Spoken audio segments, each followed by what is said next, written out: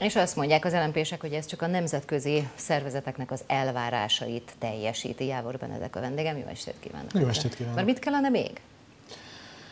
Mi úgy gondoljuk, hogy természetesen ez egy nagyon fontos lépés, hogy egy fél év után a kormány gazdaságpolitikájában a épész szikrái felbukkanni látszanak, de ha már hozzányúlunk a Nemzeti Bank törvényhez, akkor orvosolhatnánk néhány olyan problémát, amelyek a jegybankok szerepével kapcsolatban éppen a 2008-ban kirobbant pénzügyi válság kapcsán megmutatkoztak, és amelyek itthon is látható és érzékelhető gondok. Egész egyszerűen a pénzügyi banki rendszernek a stabilitása feletti őrködés. Hát ezért kapott a PSHF újabb és újabb hatásköröket.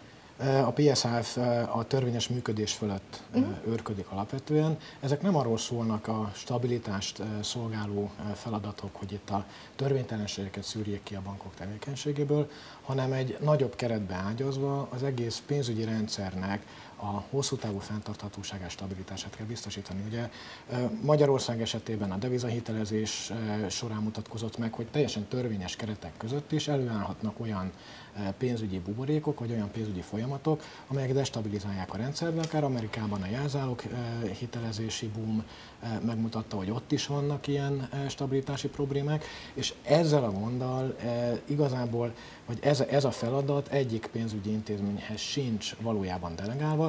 Mi azt gondoljuk, hogy ez egy olyan feladat, amit el kell végezni a rendszer stabilitás érdekében, és ezt a Nemzeti Bankhoz optimálisan lehetne delegálni.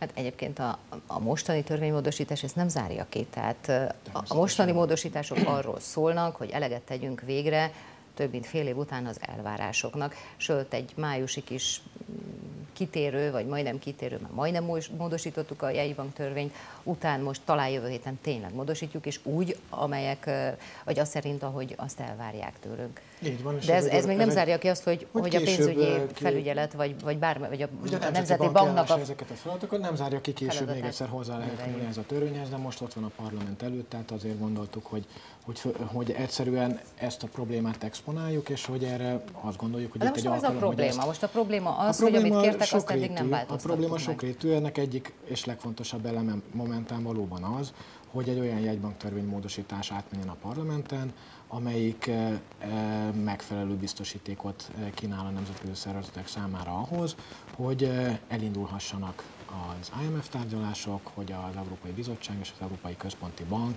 elfogadja ezeket a módosításokat. Ez a törvény alapvetően ennek eleget tesz, és ez mindenképpen rendkívül hasznos az ország szempontjából. Ha ezt egy fél évvel korábban megteszi a kormány, mondjuk decemberben, amikor beterjesztették az eredeti törvényt, és az LNP elmondta, hogy ez a törvény ez ellentétes a nemzetközi normákkal és káros az ország számára, akkor az elmúlt fél évben kb. 100 milliárd forintos spórolhattunk volna az országnak. Tehát nagyon sajnálatos, hogy erre csak most kerül sor. Jobb későn, mint soha, azért ez minden magyar állampolgárnak kb. 10 ezer forintjába került az, hogy a kormány nem tudta fél évvel hamarabb belátni, hogy hülyeséget csinál. Hát és még a fél év se tudjuk, hogy fél év vagy hogy mikor kezdődnek a tárgyalások, és mikor lesz ebből hitel egyáltalán. A monetáris tanács létszámának kibővítése és a most erre vonatkozó módosítás, azt, azt egy fordítsa le nekem. Tehát a hét tagú monetáris tanács tagjainak növelését azt nehezményezte az Európai Központi Bank. A májusi módosításban az lett volna, hogy 5, maximum 9, tehát hogy belefért volna így a módosításba a kibővítés is. Aztán a mostani módosításban már az van benne, hogy a monetáris tanácsban a külső tagok száma nem érheti el a belső tagok számának kétszeresét. Mit? Hát miért nem az van benne, hogy nincs benne, marad ennyi amennyi? Hát nyilván ez megnyitja a lehetőséget, hogy a, hogy a belső tagok, külső tagok száma hogyan változik, az itt nincs fixálva, tehát van, van benne egy hát. lehetőség arra, hogy ezt mozgassák. Azt azért lehet tudni, hogy ugye két olyan kritikus pont volt, ami, ahol kifogást emelt az Európai Bizottság, az Európai Központi Bank a jegybank törvényel kapcsolatban. Az egyik a monetáris tanács létszáma, a másik pedig a harmadik alelnöknek a, mhm. a személye. És egy olyan háttérmegállapodás született a kormány és a nemzetközi szervezetek között, hogy benne maradnak ezek a módosítások a törvényben, de a kormány nem él ezekkel a lehetőségekkel 2013 márciusig, tehát Simar András Bank mandátumának a lejártáig. Ez ezzel együtt sem problémamentes, a harmadik alelnöknek a, a funkciói nem tisztázottak, hogy pontosan mi a célja a harmadik alelnöknek, milyen feladatokat fog ellátni, hogyan osztják újra a feladatokat az alelnökök között. Tehát most Simor Andrástól és a kormányzat nemzeti banki befolyásától teljesen függetlenül is ez fölvet problémákat. Azt látjuk, hogy, hogy a nemzetközi szervezetek minden esetre ezt a megoldást úgy tűnik, hogy, hogy elfogadják, cserébe megkapják az összes többi garanciát a jegybank törvényben, amihez ragaszkodtak. Na kíváncsi vagyok a hivatalos válaszra egyébként, akkor fogjuk majd igazából tudni értékelni azt, hogy most akkor ez minden elvárás és minden elvárás teljesítése volt, avagy sem. Még azt mondja meg nekem, hogy miért nem megy Rióba.